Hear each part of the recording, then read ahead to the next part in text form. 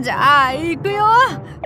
おや国語って出ましたね。これから体育の授業なんだけど。ルーレットは絶対ですので。なんでこんなこ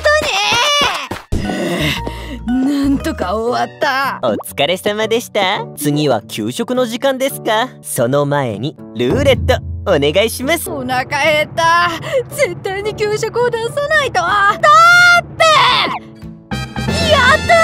ルーレットをよーく見てください。給食を食べる人を見る？